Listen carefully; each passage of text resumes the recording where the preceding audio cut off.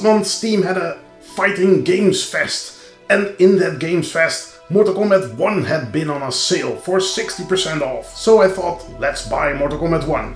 As a young boy I played Mortal Kombat, Mortal Kombat 2, Mortal Kombat 3, probably before the ESRB was around, but oh well.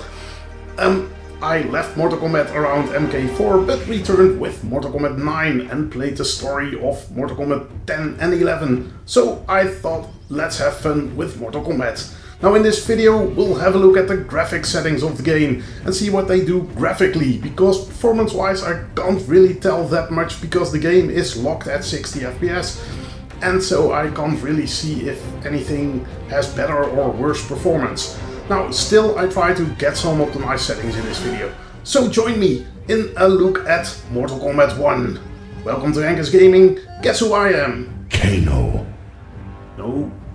And let's go to the Netherrealm. No, the Netherlands. That's a bad joke. Netherrealm isn't even present in Mortal Kombat 1, but I always think that the Netherlands, which is where I'm from, sounds a bit like a Mortal Kombat stage. I think the beat 'em up I still like to play most is Dead or Alive, but since I'm not expecting a new Dead or Alive ever again, I maybe should start looking for a new favorite beat 'em up series. However, because I mostly play Dead or Alive as a beat 'em up, Dead or Alive 6 being quite old in the meantime, I think Mortal Kombat 1 looks gorgeous. But then you know what my point of reference is. Anyways, Mortal Kombat 1 doesn't just look great, it runs great as well I think. On my system, at, at what I would say are the highest settings, I get a 60 FPS during the fights, only some drops during fatalities or fatal blows. However, let's look at some gameplay of my optimized settings, and I think the game still looks great. It does pare down a few graphical settings which you can see, but being busy in fights I don't think you will really notice. Now even the optimized settings still have some FPS drops, out of the normal fights luckily, but I'm not entirely sure why. Is the game just loading in data? I don't really think it's shader compilation stutter or anything, because it happens every time. Well, since it's not in fights you don't notice it that much and I don't find it that bothersome. Now I know latency always is a big thing in fighting games and unfortunately I don't have any visual proof of my latency, but having the Nvidia render latency on screen that was between 11 and 15 milliseconds most of the time. I found that my optimized settings had no effect on the render latency, but what did help if you want to improve that latency was running the game in a lower resolution, running in Full HD, 1920 by 1080, render latency was between 8 and 12 milliseconds I believe. Well, just in case you are a more professional player than I am, hopefully that is nice info to have. But let's dive into those settings. And when you go to the graphics settings, you'll notice there is an auto config option. So well, there you have your personalized optimized settings I guess. If game studios keep making these great tools, you won't need HEnK is Gaming anymore. Bye bye YouTube career, it was fun while it lasted. Well, I would actually recommend you running that. However, if you want to tweak things manually, be sure to keep watching. The auto config runs for a bit, showing you how Scorpion obliterates Sub-Zero, and after some time you'll have your settings set for you. Above the auto config, however, is the benchmark option, and I think it's very nice of NetherRealm Studios to include such an option as well. I think it's a nice slice of gameplay where your FPS is measured so you can test your settings performance-wise. But well, let's go over these what I would call optimized settings. And as stated before, I only had a look at the graphical impact of these settings because I didn't really know how to measure the FPS increase with the game running at 60 FPS at all time. And this FPS limit cannot be removed because of gameplay purpose. Someone with a higher FPS would benefit of faster reaction times. If they are young and fresh humans that is, not old like me. I have increased latency built into me. Anyways, with that said, the settings. I am playing at 4K, but if low latency is really important to you, try turning down the resolution to Full HD. You can't choose full screen, so you have to turn your Windows resolution down. But have a look at a tool like NIR Command C, so you don't have to switch your resolution yourself every time. I'll link it down below in the comments. After that, I will turn on VSync, set the graphics preset to high and we'll go from there leave FPS limit at 60, upscaling method, I would say use DLSS performance. In the experimental section, if the game didn't have an update in the meantime, I recorded this about a month ago during the season of Reptile. Turn the 60 FPS mode on. I found the switch from 60 FPS to 30 FPS every time a bit jarring, so I want 60 FPS at all time. And then we move over to the advanced section, so press that show advanced button of yours. And there we set texture quality to ultra high. ISO filtering, set it to 4 times. It may slightly improve your performance. Note by the way that each setting tells you if it will improve or just slightly improve your performance. Shadow quality, leave this at high. Bloom, leave it on. Motion blur, I would say leave it on as well. I always like motion blur, just make things look a tad more realistic. Ambient occlusion, turn this off. Reflections we'll leave on. And chromatic aberration, you can't turn this on, not while DLSS is enabled anyways. If you disable DLSS you can turn this on, but I have no clue where you see this effect in game. AA mode and the aliasing mode can't be set since we enabled DLSS. Now stay tuned to have a look at those settings and see why I chose some of those settings. But I wanted to ask you real quick to like this video and why not subscribe? The button is not that far apart. Well, thanks for that. And now, quickly to the settings, we have some fatalities waiting on us. Fatalities waiting on us, by the way, that sounds bad, but oh well. Fatality. Texture quality is the first one. Now I've placed the different settings side by side and placed my performance indicator thingy from MSI Afterburner at the top of the screen in this video every time. Usually I place it down below, but I found it got in the way of things we should have a look at too often. Well, anyways, just so you know, in case you were wondering. But yeah, looking at the texture quality, I would say if you have at least 8GB of VRAM, leave the textures at ultra high. If you have less VRAM, then you should probably start lowering this setting. Now even at 4K, even at the low texture quality setting, you still seem to need 6.2 gigabytes, so perhaps you need to lower your resolution a bit as well. Anyways, at the low graphics point you certainly see textures are less sharp. With each step sharpness improves a bit, but at very high and at ultra high I don't really see the differences between those. But it will probably also not matter in performance, so ultra high it is anisotropic filtering then, and we see the difference best at the stones between the grass that is most close by.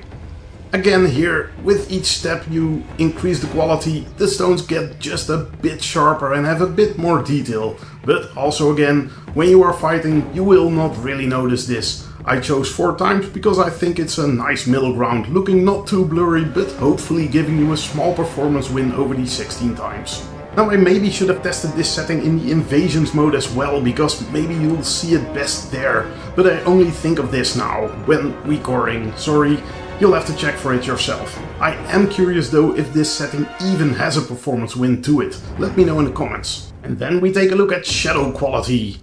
Now we can clearly see the shadow on the shield, and there we see that low and medium settings are really lacking in the shadow detail. And on low in the background you can see if the cheering lady is not jumping in front of our view, that the bowl with the wood of, for a fire in it has not that much of a shadow as well. So I would say stick with at least high. Also, notice that the VRAM usage seems to differ from shadow levels next to each other.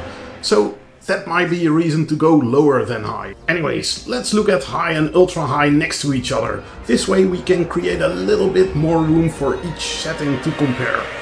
But still, I don't think I see a difference in these settings levels. On ultra high, but on high as well, the shadow on the shield looks very nice. It is a very tiny bit of shimmer I would say, but on both settings levels. And the character shadows look great on both as well. I don't think high is less sharp or anything. The dogs in the distance have a shadow on the ultra high setting, but again on the high setting as well. So therefore, for the optimized settings, shadow quality will be set to high. In Bloom. Sorry, random Nirvana reference, but leave Bloom on I would say. Although in the settings menu it did say it could improve performance and they didn't say slightly improve, but improve. Still, however, I had to look quite a bit to find a decent example of bloom, so I'm under the impression that it's not used that much in the game. And therefore I left it on, as I think it looks good and I can't really imagine that this would have a great impact on performance. On the other hand, if you do notice it impacts performance, turn it off. You won't have that much you will miss, since I think it's not used that much. Well, choose wisely. The motion blur. And this goes so quick, let's look at it in slow motion. And in slow motion it still moves quickly, but I like the little blur the characters have when moving. Just makes them look a little bit more in motion and makes it look a little bit more realistic I think. Again, at full speed, you almost can't make the difference out, but I think you're very focused on these characters in the game, so every bit they look and move better is something we would like to keep. So, keeping the motion blur on. Ambient occlusion then. I saw no real difference in graphical detail with AO turned on versus it being turned off. Shadows of the statues are the same, Points where the shadows are placed on the ground look the same. Nothing of difference in shadow between the cobblestones the characters are standing on. And even if we move the viewpoint to the side a bit, I see no differences on where the character's foot stands on the ground or anything. So for normal fights, I would say we can easily turn ambient occlusion off. And often, even if you don't see the effect in the game, it has an effect on FPS. Now often I think you do see the effect of ambient occlusion in games and turning it off can make objects look a bit floaty or something. But not in a normal Mortal Kombat 1 stage I would say. In Invasions mode however you do see the effect of ambient occlusion. If we look at the tower, the windows in the middle of each tower stage have a bit more shadow when ambient occlusion is turned on and I think this looks a bit more realistic as the shadows are further back and would naturally catch less light. Also where the tower is touching the ground and also where these pillars in front of the tower on the right are touching the ground, you see they are better shaded and therefore more grounded with ambient occlusion on. For the optimized settings however, I would say turn ambient occlusion off, as even with the setting off I don't think the invasion stage looks bad or anything. It's true that ambient occlusion on looks better, but the performance win you will probably have by turning ambient occlusion off could very well be worth it. And in normal stages you don't see a difference, I think. Also, you're too busy making those 10 hit combos, so you don't notice small changes in shadows. So I would say turn ambient occlusion off. And then let's move on to reflections. And we see a nice reflection here in the Great Hall. And just as Bloom, I think reflections aren't used that much in Mortal Kombat 1. And for that reason, I would say leave them on. Also, the settings menu mentioned that this could only slightly improve performance, turning the reflections on of course. So only slightly, so leaving these on will probably not matter that much. If you do need more FPS on stages where there are reflections, you can turn them off of course. In this stage I don't think you really miss out on anything. The floor with reflections looks like a nicely polished marble, but the floor without them looks like a nicely unpolished marble. It still looks good, only not polished and there aren't many stages where you are battling in pools of water that need to reflect everything around it. So anyways, I'll leave it on for the optimized settings. And then that chromatic aberration which you can't turn on if you use DLSS. I thought you could see the effect perhaps in the fatal blow of Johnny Cage, where the camera lens get broken and you see light refractions. But apparently light reflections are not chromatic aberration, so then I don't know. But anyways, since we use DLSS, you can't enable chromatic aberration anyways. So who cares about the chromatic aberrations? And then we move over to particle density. And I like particles. I like lots of particles. So I'm having a bit of a hard time telling you to turn down this setting. But we're going for the optimized settings, right? And sometimes you need to hand in something good looking in order to have a better performance. Now, if we put all the particle density settings side by side and have a look in slow motion, I think we can quite clearly see that each setting level you go up or down, you gain or lose particle effects. But with the particle density, I think the high level is a nice mix where you get a decent amount of particles and still have moves that look great and spectacular while handing in a little bit of particles to win a bit of performance. Although I don't know how much performance win you'll get, but oh well. Now if we look at high and ultra high again next to each other, I think we clearly see we do lose some of the effect, but the idea and the feeling of doing a special move is still present with the high amount of particles. Now let's move on and have a quick look at the final setting I want to show, the 60 FPS mode. Now the 60 FPS mode is not really used in fights themselves of course, because these are 60 FPS. It is used around those fights, so the only time you might want to disable the 60 FPS mode is in the story mode. At the end of the story mode you get to choose a character and the cutscenes with that character are not pre-rendered like the rest of the cutscenes are. Since all other story or demos in the game are locked at 30 FPS, you might find it a bit off-putting that you get a movie at 30 FPS and then a story movie with your character that is not 30 FPS and suddenly 60 FPS. However, in all other cases, I found the 60 FPS mode way better and nicer to play than the 30 FPS mode. When you're playing battles at 60 FPS, then suddenly switching back to 30 FPS feels weird and it feels a bit janky. I sometimes play games at 30 FPS, but then when you play the game at 60 FPS and you start playing a game in 30 FPS, it takes a little time to get used to that 30, and then after a while that 30 is fine. But in Mortal Kombat you're doing fights at 60 FPS, so you don't want to switch back to that 30 FPS when you're walking around in invasions or something like that. So I would set the 60 FPS mode to on. And there you have it, the game running with the optimized settings. Now, as is actually always the case, if your computer is up for the task, feel free to increase the graphics settings of course. I would start by increasing the particle density as I think those make fights look even more spectacular. And then next, if your computer can still handle it, enable the ambient occlusion, certainly if you play a lot of invasions mode. And keep in mind that changing these settings didn't have much of an effect to the render latency, so perhaps you want to keep the game running at max settings, but just with a lower resolution. I played the game in Full HD with DLSS set to quality for example, and it still looks rather good I would say. Anyways, that's it for this month. Next month I think I will have a look at Flintlock, The Siege of Dawn. For some reason I thought Frostpunk 2 was going to be released the 25th of July, but it's releasing the 20th September. I liked the first Frostpunk, so I thought let's have a look at the second one but well, flintlock it probably is.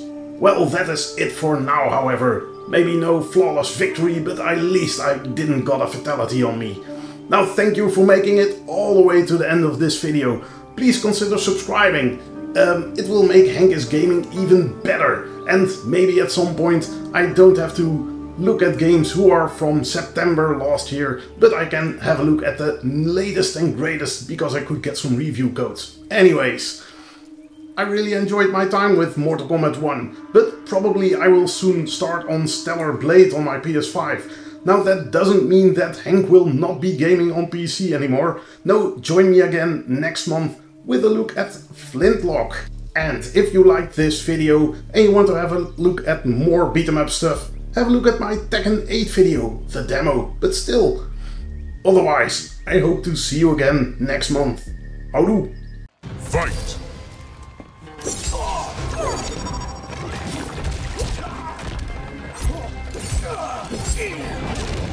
Yeah!